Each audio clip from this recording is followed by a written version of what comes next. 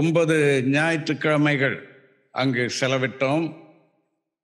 Corona பாதிப்பு ஏற்பட்டபடியினால் ஒரே ஒரு ஞாயிற்றுக்கிழமை தான் ஊழியத்திற்கு செல்ல முடியவில்லை. மிச்ச எட்டு ஞாயிற்றுக்கிழமைகளும் ஆண்டவருடைய வசனத்தை ஜனங்கள் நடுவிலே போதிக்க கர்த்தர் திறந்த வாசலை கொடுத்தார் அநேகரை தொட்டார். நாங்கள் சென்ற வாரம் திங்கட்கிழமை புறப்பட்டு வந்தோம். ஞாயிற்றுக்கிழமை இரவு வரைக்கும் குடும்பங்களை சந்திப்பது ஆலோசனைகள் கொடுப்பது சிங்கப்பூர் என்றால் மோட்சம் என்று நினைத்து விடாதீர்கள். இங்கே இருக்கிற எல்லா பிரச்சனைகளும் அங்கு உண்டு. இங்கு காலை வாருகிறவர்கள் உண்டென்றால் அங்கேயும் உண்டு. இங்கே ஏமாற்றுகிறவர்கள் உண்டென்றால் அங்கேயும் உண்டு. இங்கே சண்டை போடுவார்கள் என்றால் அங்கேயும் உண்டு. ஆகவே அந்த சூழ்நிலைகளிலே அவர்களுக்கு ஆலோசனை கொடுக்க வழிகாட்ட ஜெபிக்க ஆண்டவர் ஸ்லாக்கியம் தந்தார். அதற்காகவும் நன்றி சொல்கிறேன். இன்னொன்றும் இங்கெல்லாம் நாம் ஒருவருக்கொருவர் ஜெபிக்க சொல்லும்போது நாம் கேள்விப்படுகிற நெருக்கடிகள் குடும்பங்களில் இருக்கிற பிரச்சனைகள் ரொம்ப நமக்கே மனது உடைகிற மாதிரி இருக்கும் இல்லையா? ஸோ டிப்ரெஸிங் சம்டைம்ஸ் ஐயோ இவ்வளவு கஷ்டங்களா என்று. சரி இப்போ கொஞ்சம் வளர்ந்த நாட்டுக்கு போகிறோமே அங்கே கொஞ்சம் வித்தியாசமாக இருக்கும் என்று பார்த்தால் ஆராதனையின் முடிவில் ஜெபத்திற்கு வருகிறார்கள். ஒவ்வொருவருடைய ஜப குறிப்பை கேட்கும் போது ஓடி போய் விடலாம் போல இருக்கிறது. இன்னும் நான்கு மாதங்கள் தான் இருக்கிறது எனக்கு இங்கே. அடுத்தது என்ன செய்ய போகிறோம் என்று தெரியாது. பிள்ளைகளை இங்கே படிப்பு ஆரம்பித்து விட்டோம். பேங்க் பேலன்ஸ் கிடையாது. சிங்கப்பூர்ல இன்றைக்கு இருக்கிற நிறைய பேருக்கு ஹேண்ட் டு மவுத் தான். நான் உங்களுக்கு சொல்லுகிறேன் அங்க இருக்கிறவர்களை விட இங்க இருக்கிற நாம் ரொம்ப ஆசீர்வதிக்கப்பட்டவர்கள். அநேக விதங்களிலே. டூரிஸ்டாக போகலாம். அங்கெல்லாம் வாழ போனால் வாழ்க்கை மிக சவாலானது. சிலர் ஊழியத்துக்கு செல்லும் போது அப்படியே ஒரு ஹாலிடேயும் எடுத்துக்கொண்டு வருவார்கள். எங்களுடைய வாழ்க்கையில ஆண்டவர் ஹாலிடேக்கு சென்ற இடத்துல ஊழியத்தை கொடுத்தார். அதுவும் ஒரு ரொம்ப சந்தோஷமான ஒரு நிறைவான காரியமாக இருந்தது. அந்த நாட்களிலே இங்கே உங்கள் எல்லாரையும் கர்த்தர் காத்து கொண்டார். குறிப்பாக ஆல்டம் பிரியா ஃபேமிலி எவ்வளோ அற்புதமாக ஒரு பெரிய விபத்திலிருந்து ஆண்டவர் பாதுகாத்தார். தொண்ணூத்தி ஓராவது சங்கீதம் எவ்வளவு நிஜம் என்பதை ஆண்டவர் நிரூபித்தார். அதற்காக ஆண்டவரை ஸ்தோத்திருக்கிறேன். இன்று சகோதரி பிரியா சொன்ன விதமாக யாரோ ஒருவர் இல்லை என்றால் யாரோ சிலர் அதிக நெருக்கடியில இருக்கிறீர்கள் பிரச்சனையில இருக்கிறீர்கள். ஆகவே உங்களுக்கு ஒரு வழியை காண்பிக்க வேண்டும் என்பதற்காக ஆண்டவர் ஒரு செய்தியை கொடுத்திருக்கிறார். அந்த பாடல் பாடப்படும் போது நான் அதைத்தான் நினைத்து கொண்டிருந்தேன். ஆண்டவரே என்ன செய்தி என்பது இங்கே இந்த பாடலை பாடுகிறவர்களுக்கு தெரியாதே ஆனால் ஏற்ற பாடலை நீர் ஏற்படுத்தி இருக்கிறீரே என்று. இன்று நாம் பார்க்க போவது அந்நாளின் வாழ்க்கையிலிருந்து நாம் கற்றுக்கொள்ளுகிற காரியங்கள். ஒன்று சாமுவேல் முதல் சில அதிகாரங்களிலே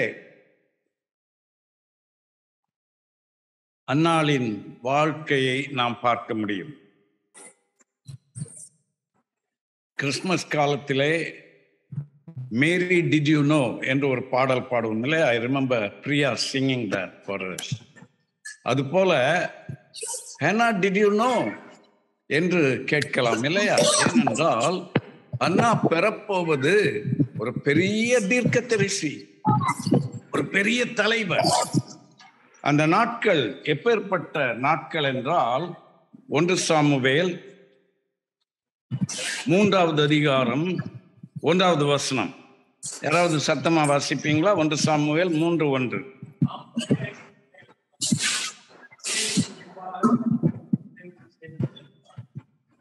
நாட்களிலே அபூர்வமான அபூர்வமான பிரத்யட்சமான தரிசனம்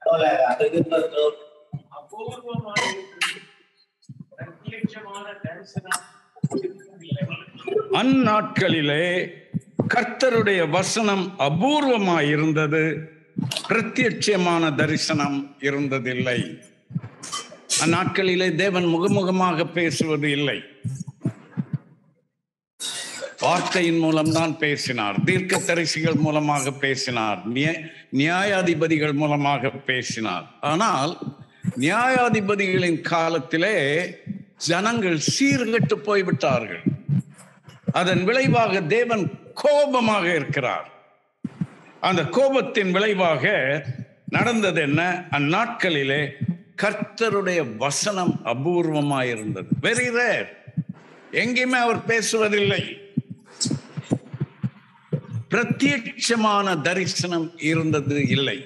அப்பேற்பட்ட ஒரு காலகட்டம் அது. ஆண்டவர் தம்முடைய ஜனங்களை தம்முடைய நேரடி ஆட்சிக்கு உள்ளே வைத்திருக்க வேண்டும் என்று விரும்பினார். அதற்காக அவர் மோசையின் மூலமாக அவர்களை எகிப்திலிருந்து விடுவித்து வழிநடத்தி கொண்டு வந்து பாலும் தேனும் ஓடுகிற கானான் தேசத்திலே ஏற்படுத்தினார்.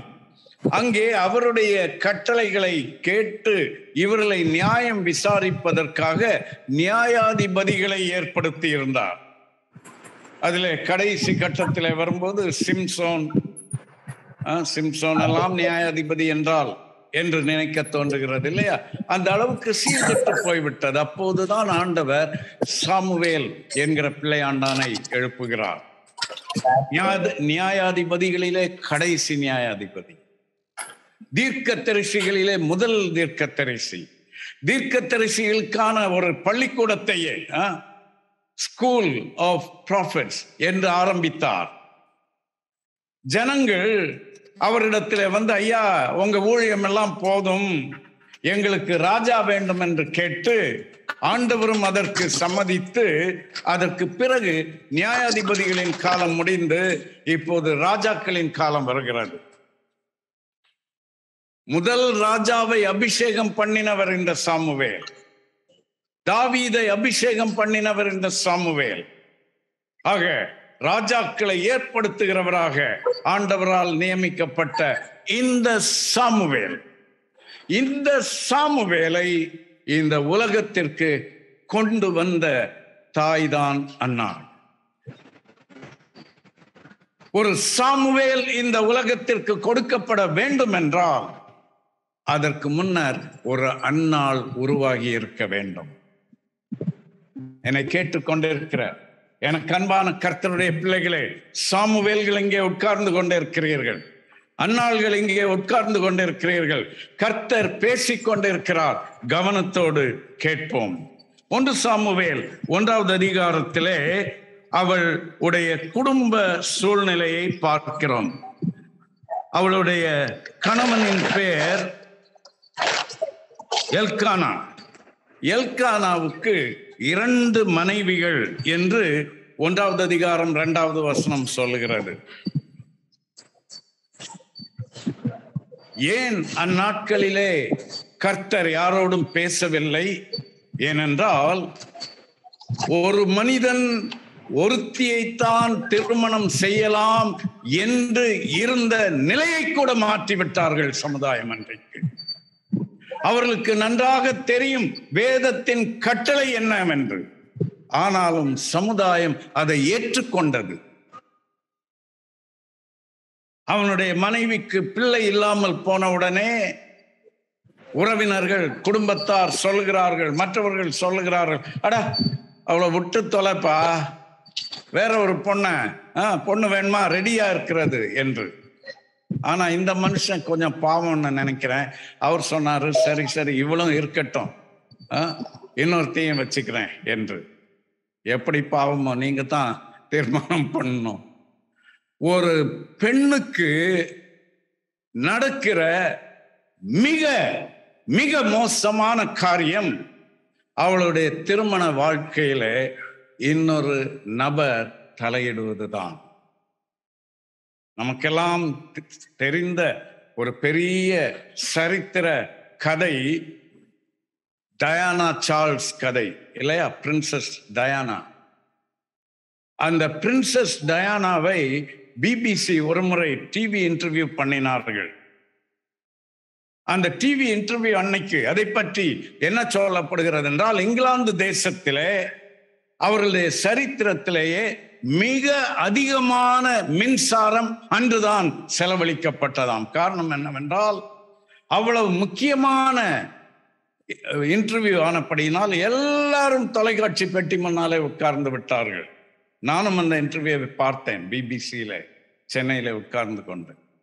அதில் அந்த அம்மா சொன்னார்கள் எங்கள் வாழ்க்கை நன்றாக போய்கொண்டிருந்தது ஆனால் திடீரென்று எங்கள் வலைக்குள்ளே நாங்கள் ரெண்டு பேர் இருக்க வேண்டிய இந்த வலைக்குள்ளே மூன்றாவது ஒரு நபர் இருப்பதை உணர்ந்தேன்.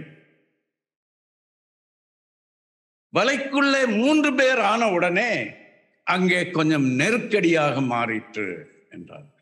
As family life married life husband and wife life is to be live as to If there is any extra, in the words of Diana, it becomes a bit too crowded. கர்த்தர் பேசிக் கொண்டிருக்கிறார் எனக்கு அன்பான கர்த்தருடைய பிள்ளைகளே எந்த வயதாக இருந்தாலும் சரி just married or forty years fifty years after married எந்த நேரத்திலும் இந்த சோதனை வரக்கூடும் சோதனை என்பது வாய்ப்புகள் என்கிற முறையில வரலாம். Whatever the case Elkanah அதிலே தோல்வி அடைந்து விட்டார். அன்னாள் மூத்த மனைவி. அவளுக்கு பிள்ளை இல்லை. அடுத்தவளை கல்யாணம் பண்ணி கொண்டார். அவளுக்கு நிறைய பிள்ளைகள். நான் நினைக்கிறேன் பத்துக்கு அதிகமான பிள்ளைகள். ஒன்றாவது அதிகாரம் எட்டாவது வசனத்தில் அன்னாளை ஆறுதல் படுத்தும்படி இந்த எல்கானா சொல்கிறார் நான் உனக்கு பத்து மகன்களை விட அதிக முக்கியம் இல்லையா? என்கிறார். அந்த காலத்தில் பிள்ளைகளை எண்ணும் போது மகன்களுக்கு மட்டும்தான் நம்பர் அதுக்கு மேலே உள்ளதெல்லாம் எக்ஸ்ட்ரா பெண் பிள்ளைகள் ஒரு பொருட்டாகவே எடுப்பதில்லை. அவர்களுக்கு பெண் பிள்ளைகளும் இருந்தார்கள். மகன்கள் பத்து பேராம். ஒரு பெண் தன்னுடைய கணவனுக்கு எத்தனை அதிகமான பிள்ளைகளை பெற்றுக் கொடுக்கிறாளோ அவ்வளவு அவளுக்கு மதிப்பு மவுசு இருந்தது அந்த காலத்தில். எங்க அம்மா எங்க அப்பாவுக்கு பத்து பிள்ளைகளை பெற்றுக் கொடுத்தார்கள். இப்பெல்லாம் முடியுமா? தைரியம் இருக்கிறதா? ஃபீஸ் கட்டுறதுக்கு எங்க போவோம் இல்லையா? பயப்படுகிறோம். ஆக சரி நேரம் குறைவாக இருக்கிறபடியால் நான் டிவியேட் பண்ணக்கூடாது. கவனமாக வேகமாக செல்லுகிறேன். ஆக அன்னாளை பற்றி முதலாவது நாம் அறிந்து கொள்ள வேண்டிய காரியம் அவள் ஒரு துக்கமுள்ள பெண். உமன் ஆஃப் சாரோ ஆறாவது வசனம் பாருங்க. கர்த்தர் அவள் கர்ப்பத்தை அடைத்தபடியினால் அவளுடைய சக்களத்தி அவள் துக்கப்படும்படியாக அவளை மிகவும் விசனப்படுத்தினாள். ஆக நம்பர் டூ உடைய ஒரே லட்சியம் என்ன? இந்த அம்மாவை துக்கப்படுத்த வேண்டும். அதற்கு இடி சொல் என்ன சொல்ல முடியுமோ? குத்துதலாக பேசுவது ஜாடையாக பேசுவது இதெல்லாம் நிறைய பண்ணி கொண்டிருந்தார்கள். ஆகவே அவள் துக்கம் நிறைந்த ஒரு பெண்ணாக இருந்தாள். கர்த்தருடைய பிள்ளையே சகோதரியே குறிப்பாக பெண்களை நான் சுட்டிக்காட்டி பேச விரும்புகிறேன். கர்த்தருடைய பிள்ளையாக மாறிவிட்டால் இனி வாழ்க்கையிலே துக்கமே இல்லை என்று நினைத்திருந்தாயா? I have a surprise for you துக்கம் வாழ்க்கையில் இருந்து கொண்டே தான் இருக்கும். உங்கள் துக்கத்தை அவர் சந்தோஷமாக மாற்றுவார். அவ்வப்போது. ஆனாலும் துக்கம் என்பது வாழ்க்கையை விட்டு போவதே கிடையாது. Sorrow is a reality of life and we must accept it and learn to live with it and overcome it ஐயோ நான் துக்கமாக இருக்கிறேன். ஆகவே யார்கிட்டையும் பேச மாட்டேன். வெளியவே போக மாட்டேன் ஷாப்பிங் போக மாட்டேன் சர்ச்சுக்கு போக மாட்டேன். துக்கம் சரியான பிறகு சர்ச்சுக்கு போவதென்றால் கேரண்டீட் நீ சர்ச்சுக்கு போகவே முடியாது. நீ துக்கமாக இருக்கும்போது தான் போக வேண்டும். கர்த்தரை தேட வேண்டும். அவள் துக்கமுள்ள ஒரு ஸ்திரீயாக இருந்தாள். கர்த்தருடைய பிள்ளை அவள். ஆனாலும் அவள் வாழ்க்கையிலே துக்கம் இப்ப இந்த துக்கத்தை மாற்ற வேண்டும் என்றால் என்ன செய்ய வேண்டும்? பெனி நாளை துரத்தி விடலாமா? இவளுக்கு அதற்குரிய சக்தி இல்லை. அன்றைய சமுதாயம் அதற்கு இவளுக்கு அனுமதி கொடுக்கவில்லை. ஆகவே இவளுக்கு ஒரே வழி வாழ்வதென்றால் துக்கத்தோடு தான் வாழ்ந்து ஆக வேண்டும். அந்த துக்கத்தின் விளைவாக அவள் என்ன செய்தாளாம்? ஏழாவது வசனம் அவள் கர்த்தருடைய ஆலயத்திற்கு போகும் சமயத்தில் அவன் வரு வருஷம் தோறும் அந்த பிரகாரமாய் செய்வான். இவள் அவனை மனவடி மனமடிவாக்குவாள். அப்பொழுது அவள் சாப்பிடாமல் அழுது கொண்டு இருப்பாள். பெண்கள் துக்கப்படும் போது என்ன செய்வார்கள்? சாப்பிட மாட்டார்கள். அழுது கொண்டிருப்பார்கள். ஆண்களுக்கு துக்கம் வந்தால் பாட்டிலை தேடுவார்கள் இல்லையா? வா கொஞ்சம் ஜாலியா இருக்கலாம் என்பார்கள். ரொம்ப அபாயம் ரெண்டுமே அபாயம்.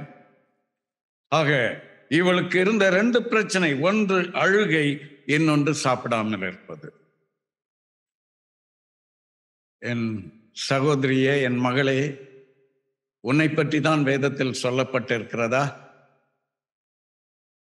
கணவனை பழி வாங்க வேண்டுமென்றால் மாமியாரை பழி வாங்க வேண்டுமென்றால் ரெண்டு ஆயுதங்கள் இல்லையா? ஒன்று பேசாமல் இருப்பது இன்னொன்று சாப்பிடாமல் இருப்பது இன்னொன்று அழுவது மூன்று ஆயுதங்கள். அன்னாலும் இதை செய்தாள். எட்டாவது வருஷம் சொல்கிறது அவள் புருஷனாகிய எல்கானா அவளை பார்த்து அன்னாலே ஏன் அழுகிறாய்? ஏன் சாப்பிடாதிருக்கிறாய்? ஏன் சஞ்சலப்படுகிறாய்? என்றெல்லாம் கேட்பார். வேதாகமத்திலே சொல்லப்பட்டிருக்கிறது அன்னாளை எல்கானா நேசித்தார் என்று. இந்த புத்தகம் பெரும்பாலும் சாமுவேலால் எழுதப்பட்டது. எல்கானாவுடைய மகன் எழுதினது. ஆகவே அப்பா அம்மாவை நேசிச்சாங்க என்று எழுதியிருக்கிறார். நாம் அதை ஏற்றுக்கொள்ளத்தான் வேண்டும். அவருக்கு தெரிந்திருக்கும் அந்த குடும்ப சூழ்நிலை எல்லாம் இல்லையா? சரி. சாப்பிடாமல் இருப்பது அழுவது சஞ்சலமாக இருப்பதே இவளுடைய வாழ்க்கையா இருந்தது. அவள் வாழ்க்கையிலே ஏதோ ஒன்று தடைப்பட்டு இருந்தது. என்ன தடைப்பட்டு இருந்தது? ஐந்தாவது வசனம் சொல்லுகிறது. ஐந்தாவது வசனத்தின் இரண்டாவது பகுதி கர்த்தரோ அவள் கர்ப்பத்தை அடைத்திருந்தார். நன்றாக கவனியுங்கள். ஒரு அடைப்பு ஏற்பட்டிருக்கிறது. ஒரு தடை ஏற்பட்டிருக்கிறது. அந்த தடை நீங்கினால்தான் அந்த அடைப்பு அகற்றப்பட்டால்தான் ஆசீர்வாதம் என்கிற வாழ் வாய்க்கால் பாய்ந்து ஓடி இவள் வாழ்க்கையிலே செல்ல முடியும். ஆனால் இங்கே சிக்கல் என்னவென்றால் வேதாகமம் சொல்லுகிறது கர்த்தர் அதை செய்தார். அடைத்தது யார்? கர்த்தர். எங்கள் வாழ்க்கையிலே பொருளாதார ரீதியாக வாய்ப்புகள் ரீதியாக பல நேரங்களிலே பெரிய ஒரு ஆசீர்வாதம் வருவது போல இருந்ததை கர்த்தர் அணை போட்டு விட்டார். ரயில்வே சிக்னல் இப்படி விழுவது போல. கிட்ட வந்து விட்ட போது போட்டு விட்டதை நாங்கள் அனுபவித்திருக்கிறோம். ஆனால் கர்த்தர் அணை போட்டு விட்ட போது நம்மால் ஏதாவது செய்ய முடியுமா? ஒன்றும் பண்ண முடியாது. ஹெல்ப்லெஸ் அவ்வளவுதான். உன்னுடைய வாழ்க்கையில இன்றைக்கு என்ன அப்படி தடுக்கப்பட்டிருக்கிறது என்று எனக்கு தெரியாது. பட் நிச்சயமாகவே ஏதோ ஒன்றை அந்த அடைப்பை அகற்றுவதற்காக அந்த தடையை மாற்றுவதற்காக இன்றைக்கு கர்த்தர் உங்களை எல்லாம் இங்கே கொண்டு வந்து அவருடைய வசனத்தை பேசிக் கொண்டிருக்கிறார். ஏசாயா சொல்கிறார் தடைகளை மாற்றுகிறவர் உங்களுக்கு முன்னதாக செல்கிறார். He will go head of you to remove the blocks. கர்த்தர் தடுத்து விட்டது.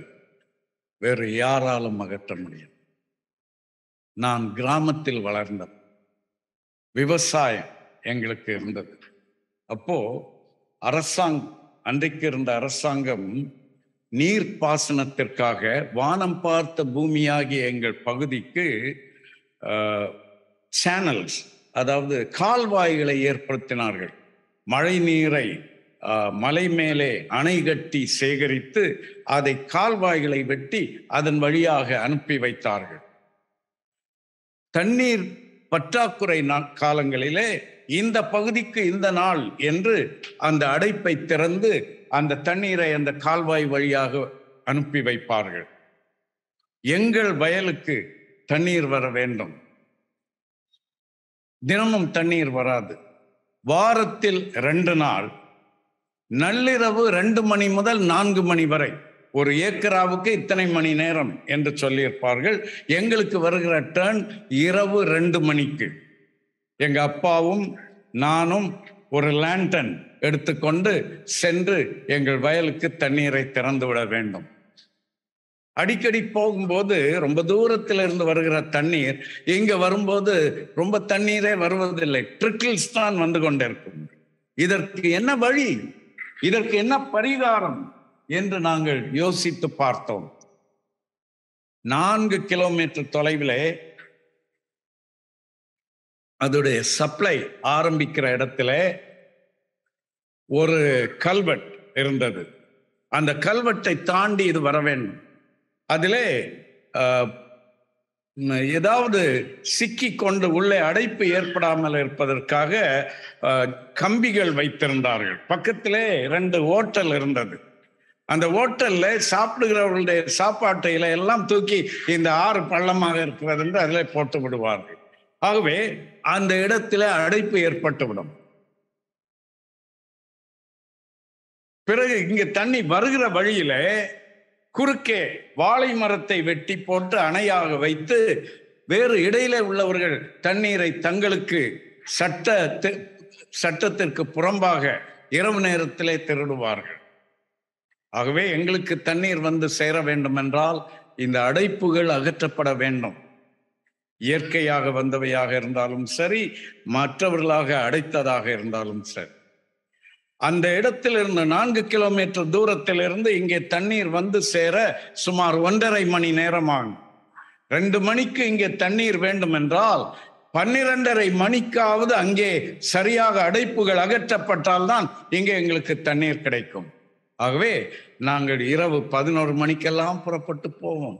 அந்த லேண்டனையும் எடுத்துக்கொண்டு நான்கு கிலோமீட்டர் நடந்து சென்று அங்கே அடைப்பை அகற்றுவோம். வழியில இருக்கிற வாழைத்தண்டுகளை எல்லாம் அகற்றுவோம். சிலர் கத்தியை வைத்து அறிவாள் வைத்து கொண்டு நிற்பார்கள். எவன்டா இது? என்பார்கள். அப்போ சொல்லுவோம் இது எங்க நேரம்? எங்களுக்கென்று அரசாங்கத்தால் நியமிக்கப்பட்ட நேரம். இதை நீங்கள் தடுக்க கூடாது என்போம் சண்டையெல்லாம் வந்திருக்கிறது. என்னை அடிக்க வந்திருக்கிறார்கள் நான் அடிக்க போயிருக்கிறேன். பிக் டிராமாஸ்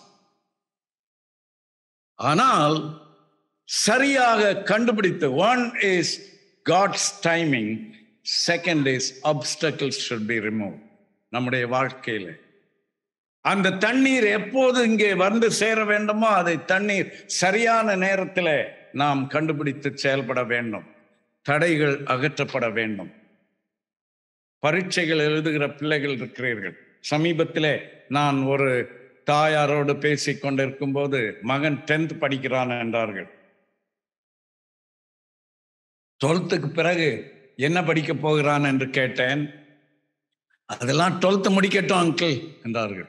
நான் சொன்னேன் timing is very important you are already too late ஒன்று முதல் பத்து வரை உள்ள வகுப்புகள் அந்த பத்து வகுப்புகளும் count down one two three four என்று போய்க்கொண்டே இருக்கிறதே. அப்போது கோட்டை விட்டு விட்டா என்றால் பத்தாவது வகுப்பில் உனக்கு என்ன மார்க்கோ அதுதான் உன்னுடைய தலைவிதி. Did you realise that timing is everything ஆறாவது வகுப்பு ஏழாவது வகுப்பு எட்டாவது வகுப்பு வரும்போதே ஆயத்தப்படவில்லை என்றால் நம்முடைய எதிர்காலம் வேறு விதமாக எழுதப்பட்டுவிடும். ஆகவே ஜாக்கிரதையாக இருக்க வேண்டும். சரி இங்கே கர்த்தர் இந்த அடைப்பை ஏற்படுத்தி இருந்தார் இதை அன்னால் உணர்ந்தார். இப்ப இவர்கள் வருஷா வருஷம் ஒரு பண்டிகை கொண்டாட பலி செலுத்தவென்று அங்கே அஹ், போய்விடுகிறார்கள். அந்த ஜெப ஆலயத்திற்கு. ஷைலோவில் இருக்கிறது அந்த ஜெப ஆலயம். ஏலி அங்கே தீர்க்க தரிசியாக அங்கே அஹ், ஆசாரியனாக இருக்கிறார். வருஷம் வருஷம் எல்கானா அன்னாள் பெனினாள் பெனினாளுடைய பெரிய கும்பல் பிள்ளைகள் எல்லாருமாக போய் அங்கே ரொம்ப ஜாலியாக இருப்பார்கள் அந்த நேரத்தில் அன்னாள் ஒன்றை உணர்ந்தாள் என்னுடைய காரியம் நிறைவேற வேண்டும் என்றால் இந்த திருவிழாவிலும் இல்லை இந்த கொண்டாட்டத்திலும் இல்லை கர்த்தரிடத்தில் நான் பேச வேண்டும். கர்த்தரை சந்திக்க வேண்டும். இதை கும்பலாக சாதிக்க முடியாது. நான் தனியாக கர்த்தரை சந்திக்க போகிறேன். ஒன்பதாவது வசனம் பாருங்க. ஒன்று சாமுவேல் ஒன்று ஒன்பது. சீலோவிலே அவர்கள் புசித்து குடித்த பின்பு புசித்து குடித்த பின்பு என்றால் ரொம்ப குடிச்சு கும்மாளம் போட்டாங்க என்ற அர்த்தம் அல்ல லஞ்சு சாப்பிட்டாங்க. மத்தியானம் லஞ்சு சாப்பிட்ட பின்பு அந்நாள் எழுந்திருந்தாள். உண்ட மயக்கம். சொல்லுங்க. ஆ தொண்டனுக்கும் உண்டு இல்லையா? சாப்பிட்ட பிறகு நல்ல ஒரு கொரட்டை போட்டு தூங்கலாம் என்று எல்லாரும் இருப்பார்கள். ஆனால் இந்த அன்னாள் என்ன செய்தாலாம் அன்னாள் எழுந்திருந்தாள். My dear sister my dear brother here is the clue for you. It's not in the hustle and bustle of life, but in the quietness of life, you ought to rise. You ought to stand alone. You ought to come apart. அன்னாள் எழுந்திருந்தாள் ஆசாரியனாகிய Eli கர்த்தருடைய ஆலயத்தின் வாசல் நிலையண்டத்திலே ஒரு ஆசனத்தின் மேல் உட்கார்ந்திருந்தான் மத்தியானம் சாப்பாட்டுக்கு பிறகு ஐயா டோர் பக்கத்துல அவருக்கு ஒரு சீட்டு அங்க உட்கார்ந்து இருக்கிறார் அவர் டியூட்டியில இருக்கிறார். ஆகவே அவர் தூங்க முடியாது. ஆனாலும் ஆட்களே இல்லை. கதவை திறந்து வைத்து கொண்டு அவர் அங்கேயே தான் இருக்க வேண்டும். கொஞ்சம் தூக்கம் வந்திருக்கும். அப்படியே சீட்லயே உட்கார்ந்து சாய்ந்து தூங்கி கொண்டிருந்தார் அந்த நேரத்தில் அன்னாள் ஆலயத்திற்குள்ளே போகிறார். In the quietness of that day அமைதியாக இருக்கும்போது ஆட்களே இல்லாத நேரத்தில் அன்னாள் எழுந்திருந்து ஆலயத்திற்கு போனாள். பத்தாவது வருஷம் அவள் போய் மனம் கசந்து மிகவும் அழுது கர்த்தரை நோக்கி விண்ணப்பம் பண்ணினாள். விண்ணப்பம் பண்ணி அவள் என்ன சொன்னாலாம் தெரியுமா? அன்னாள் துக்கம் உள்ளவள் மட்டுமல்ல அன்னாள் தேவனுடைய வல்லமையை அறிந்தவள். She knew the power of God எப்படி அவரிடத்தில் ஜெபித்தாள் தெரியுமா? பதினோராவது வசனத்துல எப்படி அழைத்தாள் ஆண்டவரை? என்ன சொல்லி அழைத்தாளாம் சேனைகளின் கர்த்தாவே சேனைகளின் கர்த்தாவே. காட் ஆல்மைட்டி சர்வ வல்லவரே சேனைகளின் கர்த்தாவே. வேதாகமத்திலேயே இங்கேதான் முதல் முறையாக சேனைகளின் கர்த்தர் என்று அழைக்கப்படுகிறார். லார்ட் ஆஃப் ஹோஸ் எனக்காக செயல்பட போகிறவர் அடைப்பை எடுக்க போகிறவர் தடையை மாற்றப் போகிறவர் யார் என்றால் ஏதோ கையால் ஆகாத ஒரு சாமியார் அல்ல சேனைகளின் கர்த்தர். நான் இன்றைக்கு யாருடைய பிரசன்னத்திலே போய் முழங்கால் படியிட்டு ஜெபிக்க போகிறேன் என்றால் சேனைகளுடைய கர்த்தருடைய பிரசன்னத்திற்கு போகிறேன். சாமுவேல் இதை எழுதினபடியினால்தான் இதிலே அஹ், சேனைகளின் கர்த்தரை ஆ- ஆராதிக்க என்று அதற்கு முன்னரும் குறிப்பிடப்பட்டிருக்கிறது. இங்கே அவள் சேனைகளின் கர்த்தாவே என்று அழைத்து தேவரீர் உம்முடைய அடியாளின் சிறுமையை கண்ணோக்கி பார்த்து உம்முடைய அடியாளை மறவாமல் நினைத்தரளி உமது அடியாளுக்கு ஒரு ஆண் பிள்ளையை கொடுத்தார். பாருங்க ரிக்வஸ்ட்ல அவ்வளவு ஸ்பெசிபிக்ஸ் திட்டவட்டமா ஆண்டவரே ஏதோ ஒன்றை செய்யும் ஆண்டவரே ஒரு அற்புதத்தை செய்யும் ஆண்டவரே வல்லமை இறங்கட்டும் ஆண்டவரே என்றல்ல. ஆண்டவரே எனக்கு ஒரு ஆண் குழந்தை வேண்டும். ஏனென்றால் அந்த ஆண் குழந்தைக்காக எனக்கு ஒரு நோக்கம் இருக்கிறது. ஒரு ஆண் குழந்தை ஆண் பிள்ளையை கொடுத்தால் அவன் உயிரோடு இருக்கும் சகல நாளும் நான் அவனை கர்த்தருக்கு ஒப்பு கொடுப்பேன். எவ்வளவு நாள்? எவ்வளவு நாள்? யார் உயிரோடு இருக்கிற வரைக்கும்? இந்த ஏழை அந்நாள் உயிரோடு இருக்கிற வரைக்கும் ஆண்டவரே என்றல்ல அவன் உயிரோடு இருக்கிற நாளளவும் நான் அவனை கர்த்தருக்கு கொடுப்பேன். வாட் அ டால் ஃபெய்த் எவ்வளவு அற்புதமான விசுவாசம் ஆண்டவர்களே. நீர் எனக்கு ஒரு ஆண் பிள்ளையை கொடுக்க போகிறீர். அந்த பிள்ளையை நான் உமக்கு அர்ப்பணம் செய்ய போகிறேன். அந்த பிள்ளை உயிரோடு இருக்கும் காலம் அளவும் உமக்கு ஊழியம் செய்ய போகிறான் இதுதான் அர்ப்பணம். இதுதான் ஒப்பு கொடுத்தல். இதைத்தான் ஆண்டவர் இன்றைக்கு தேடிக்கொண்டிருக்கிறார். ஆ? பத்து கொடுத்தீர்னா ஒன்னு கொடுப்பேன் என்று சொல்வதல்ல ஆண்டவரே என் வாழ்நாள் முழுவதும் மட்டுமல்ல அவனுடைய வாழ்நாள் முழுவதும் என்பதற்கு I give you undertaking I give you guarantee Lord என்று அப்பேற்பட்ட ஒரு துணிச்சலான ஒரு ஜெபத்தை நாம் பார்க்கிறோம். அதை வேதாகமம் சொல்லுகிறது பொருத்தனை பண்ணினாள் என்று. She made a vow with God ஒரு பொருத்தனை பண்ணி கொண்டார் எனக்கு அன்பானவர்களே கர்த்தரோடு நமக்கு இருக்கிற உறவிலே அவரோடு ஆ ஆண்டவரே இதைத்தாரும் அதைத்தாரும் தரவில்லை என்றால் விடமாட்டேன். அதெல்லாம் சொல்லுகிறோமே கடைசியாக ஆண்டவரே நான் இதையெல்லாம் உமக்கு செய்வேன் என்று பொருத்தனை பண்ணினது எப்போது? When is the last time you made a vow to God And when you make a vow to God, remember you have to keep it. And in Hannah's case, she had to keep it even after her generation. Until Samuel dies, she says, I vow to you, God, he will be yours. அப்ப எப்படி முடியும் ஆண்டவரே அஹ், சிலர் சொல்லுவாங்க பையன் தோளுக்கு மேல வளர்ந்துட்டான்னா அவன் இனி தோழன் அதனால அவங்ககிட்ட ஒன்றும் சொல்லக்கூடாது என்று. அது உலக ஞானம் என்று சொல்லுகிற உலக பைத்தியக்காரத்தனம். உன் வாழ்நாள் இருக்கும் வரைக்கும் உன்னுடைய சந்ததியின் வாழ்நாள் இருக்கிற வரைக்கும் அவர்கள் கர்த்தருடைய பிள்ளைகளாய் வாழ வேண்டும் என்று ஒப்பு கொடுக்கவும் ஜெபிக்கவும் உனக்கு உத்தரவாதம் இருக்கிறது. நீயே பாதியில கைவிட்டு விட்டாய் என்றால் உன் பிள்ளையின் எதிர்காலம் எப்படி தழைக்கும்? ஆங்கிலத்தில் ஒன்று சொல்வார்கள் what you tolerate you cannot change உன் பிள்ளைக்கு இப்படி இருக்கக்கூடாது இதிலிருந்து மாற வேண்டும் என்றால் அவனை கண்டிப்பாகவே அவன் இப்ப வளர்ந்துட்டான் அவனை இப்ப நான் ஒன்றும் சொல்ல முடியாது என்று சொல்வாய் என்றால் முதலாவது மிரட்டுவான்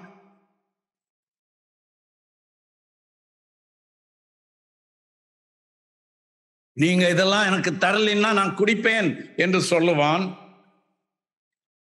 அப்ப நினைச்சுக்குவீங்க இவன் எங்க குடிக்க போறான்? அப்புறம் சொல்லுவான் நீங்க பார்க்கல ஆனா என் ரூம்ல பாட்டில் இருக்கு என்று சொல்லுவான். அப்பவும் நம்ப மாட்டீங்க.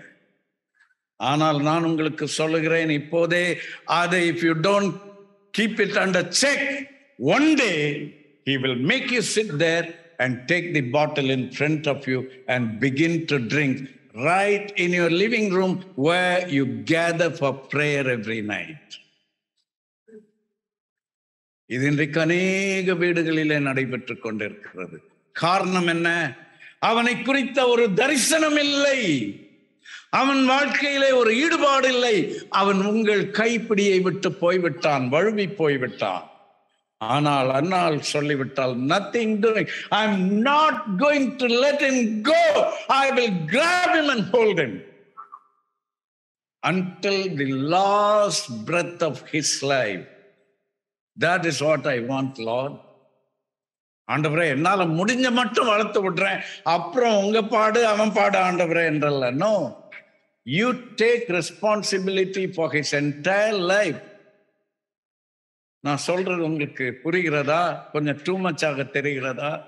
I am not telling you my ideas this is what the word of God is revealing to me it's hard for me too but this is what God expects அன்னால் அதைத்தான் செய்தாள் என்று பார்க்கிறோம். பன்னிரெண்டாவது வருஷம் சொல்லுகிறது அவள் கர்த்தருடைய சந்நிதியில் வெகு நேரம் விண்ணப்பம் பண்ணுகிறது. பண்ணினாள். சரி அப்புறம் ஏலி அதை பற்றி என்ன நினைத்தார்? அதையெல்லாம் விட்டு விடுவோம் பதினெட்டாவது வருஷம் அங்கேதான் she was a woman of pain விசுவாசம் உள்ள ஸ்திரீயாக அந்நாள் இருந்தாள். ஒன்று சாமுவேல் ஒன்று பதினாட்டு அப்பொழுது அவள் உம்முடைய அடியாளுக்கு உம்முடைய கண்களிலே தயை கிடைக்க கடவுது என்றாள். சொல்லிட்டாள் அவளுடைய தேவையை சொல்லிவிட்டாள். அவளுடைய வேண்டுதல் என்ன என்பதை சொல்லிவிட்டாள். சொல்லிவிட்டு பின்பு அந்த ஸ்திரீ எந்த ஸ்திரீ? அன்னாள்.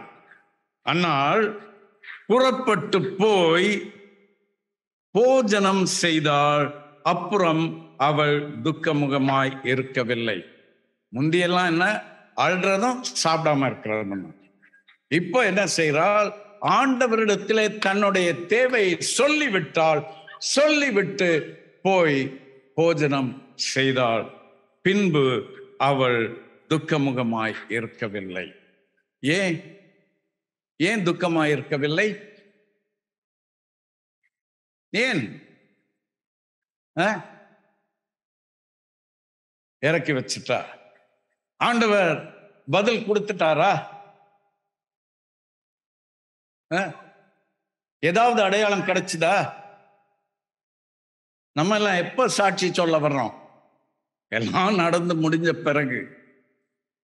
ஆனால் அன்னால் என்ன தீர்மானித்தால் நான் என் ஆண்டவரிடத்தில் தெரிவித்து விட்டேன். ஆகவே இனிமேல் நான் துக்கமுகமாய் இருக்க வேண்டிய தேவையில்லை. அவர் பார்த்து கொள்வார் ஏகோவாயிரே தேவனுடைய பர்வதத்திலே பார்த்து கொள்ளப்படும். ஆகவே இனி நான் போய் சாப்பிடலாம். எப்ரேயர் பதினொன்றாவது அதிகாரம் ஒன்றாவது வசனம். விசுவாசத்தை பற்றி என்ன சொல்கிறது விசுவாசமானது நம்பப்படுகிறவைகளின் உறுதி. பெற்றுக்கொண்டவைகளின் உறுதி அல்ல. அன்னால் இன்னும் பெற்றுக்கொள்ளவில்லை. அன்னால் நம்பி இருக்கிறாள் அவ்வளவுதான். நம்பப்படுகிறவைகளின் உறுதியும் காணப்படாதவைகளின் நிச்சயம். இன்னும் குழந்தை வரப்போகிறது என்று தெரியவில்லை கண்ணில படவில்லை இன்னும். காணப்படாதவைகளின் நிச்சயம் அதுதான் விசுவாசம். அதுதான் அந்நாளிலே கிரியை செய்தது. ஆகவே இங்க என்ன பார்க்கிறோம் என்றால் அவள் புறப்பட்டு போய் போஜனம் செய்தாள் அப்புறம் அவள் துக்க முகமாய் இருக்கவில்லை. பத்தொன்பது இருபது. அவர்கள் அதிகாலையில் எழுந்து கர்த்தரை பணிந்து கொண்டு ராமாவில் இருக்கிற தங்கள் வீட்டுக்கு திரும்பி போனார்கள். எல்கானா தன் மனைவியாகிய அன்னாளை அறிந்தான்.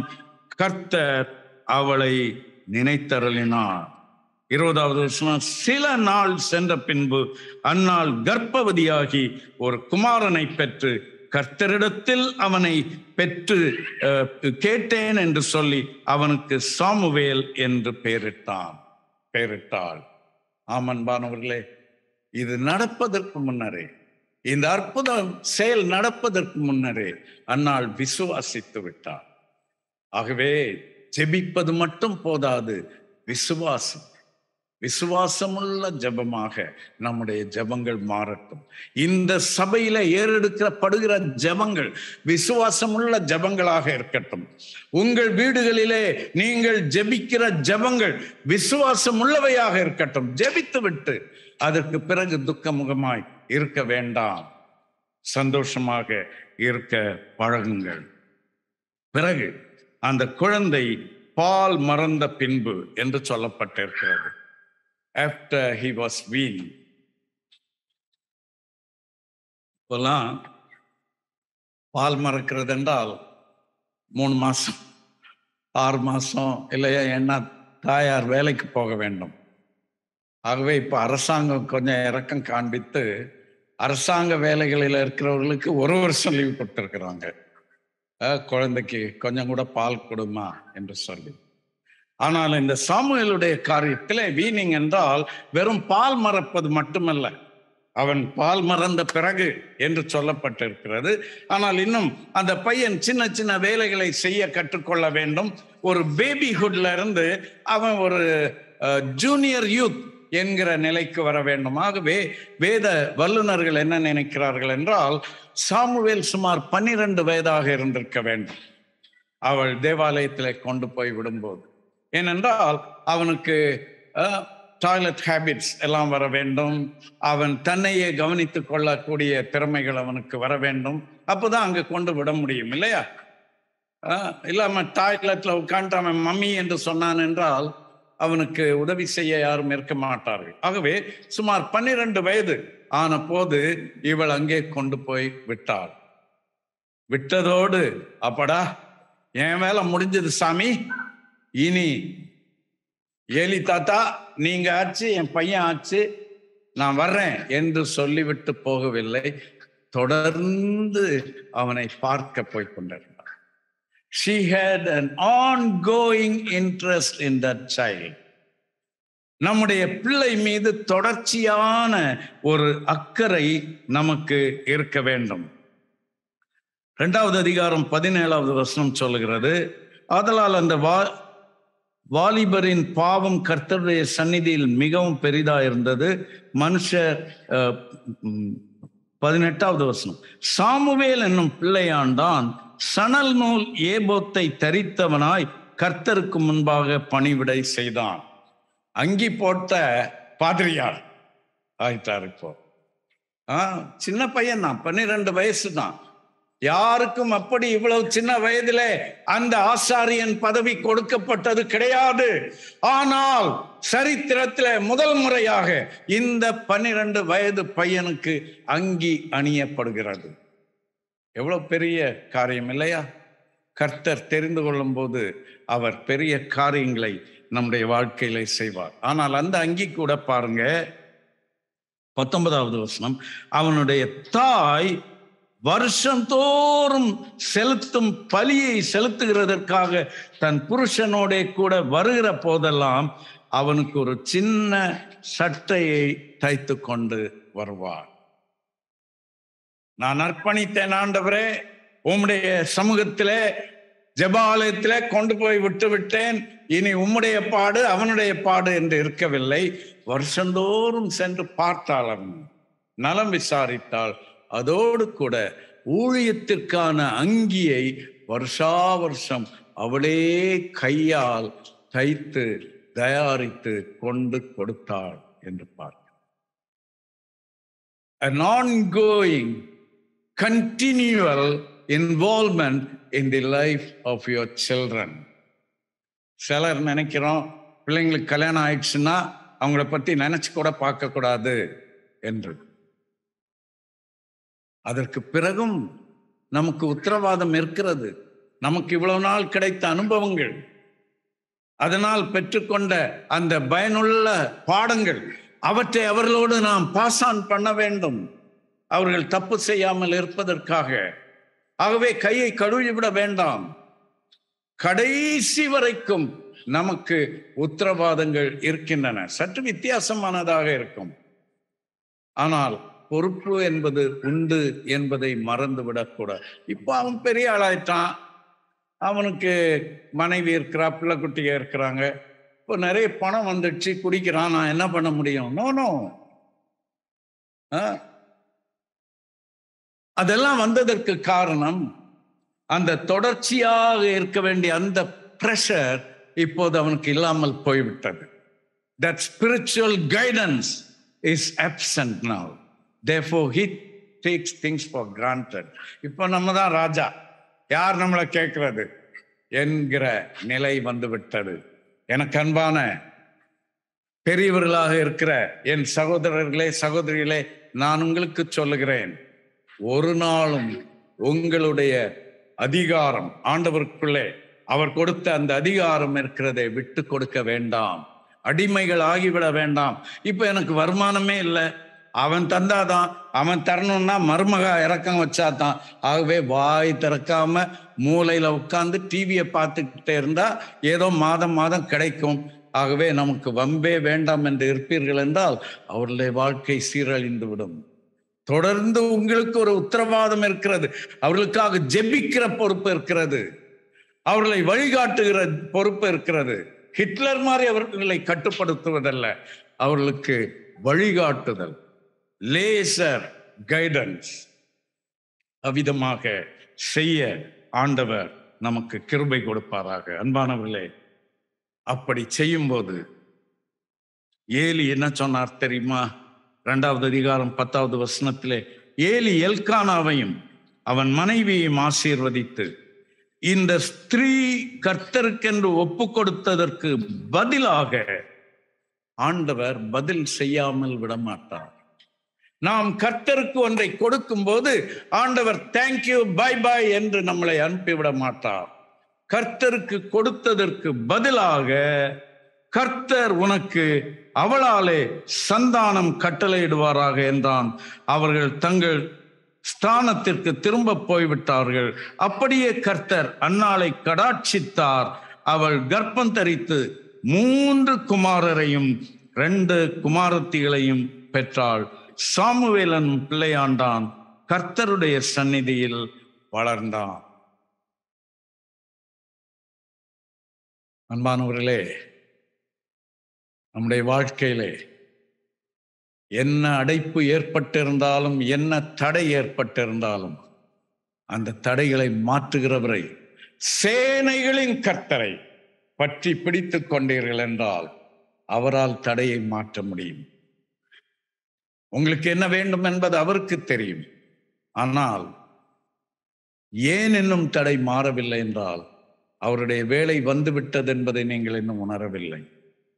அந்த வேலை அதுவாக வராது. அந்நாள் எல்லாரும் சாப்பிட்டு திருப்தியாக இருக்கிற போது எல்லாரும் மத்தியானம் ஒரு மிட் டே நாப் என்று போன போது அவள் எழுந்திருந்து தேவ பிரசன்னத்தை தேடிச் சென்றாள். தன்னுடைய இருதயத்தை தேவனுடைய சமூகத்திலே ஊற்றினால் அதன் விளைவுதான் இந்த பெரிய ஆசீர்வாதம். நாம் அப்படி செய்வோமா?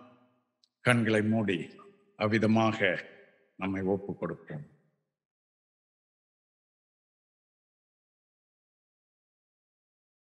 நல்ல ஆண்டவரே சாமுவேல் என்னும் பெரிய ஊழியக்காரனை ஒரு சாதாரண அன்னாள் மூலமாக உலகுக்கு கொடுத்தவரே உம்மை ஸ்தோத்திருக்கிறோம் அப்பா. எங்கள் மூலமாக சாமுவேல்கள் எழும்ப வேண்டுமே ஆண்டவரே. சந்ததிகள் எழும்ப வேண்டுமே ஆண்டவரே. அந்நாளை போன்ற ஆண்டவரே ஒரு பெரிய தரிசனத்தை எங்களுக்கு தாரும் அப்பா. அந்நாளை போன்ற ஒரு ஜெப பாரத்தை எங்களுக்கு தாருமப்பா. அந்நாளை போன்ற விசுவாசத்தை தாருமப்பா. துக்கத்தினால் செயலிழந்து விட்டவர்களாக இல்லை. துக்கத்தினால் உந்தி எழுப்பப்படுகிறவர்களாக ஆண்டவரே. உம்முடைய நோக்கங்களை அடையாளம் கண்டு அவற்றை சாதிக்கிற சாதனை வீரர்களாக மாறும்படியாக எங்கள் வாழ்க்கையில செயல்படும் என்று ஜெபிக்கிறோம். உம்முடைய வேலையை உணர்ந்து கொள்ளவும் தடைகளை அகற்றுவதற்கு உம்மோடு சேர்ந்து செயல்படும் ஆண்டவரே உதவி செய்யும். உடைய ஜனத்தை அழைத்து கொண்டு வந்து நீர் உடைய வசனத்தால் இடைப்பட்டு கொண்டிருக்கிறீர். நன்றியப்பா ஒவ்வொரு வாழ்க்கையிலும் என்ன தேவை என்பது உமக்கு தெரியும். அதை நீர் சந்தியும். இன்றைக்கு அப்படி செய்ய போவதற்காக நன்றியோடு ஸ்தோத்திரிக்கிறோம். அதற்காகத்தான் இன்றைக்கு இந்த வசனங்களால் நீர் பேசியிருக்கிறீர். உமக்கு நன்றி அப்பா. பெரிய காரியங்களை உம்மிடத்தில் எதிர்பார்க்கிறோம். அதன் பின்பு அந்நாள் துக்க முகமாய் இருக்கவில்லை அதுபோல ஆண்டவரே இனிமேல் நாங்கள் துக்க முகமாய் இருக்க தேவையில்லை. நன்றியோடு உம்மை ஸ்தோத்திரிக்கிறோம். நன்றி ராஜா. ரட்சகரே சு கிறிஸ்துவின் நாமத்தில் கேட்கிறோம் நல்ல பிதாவே ஆமென்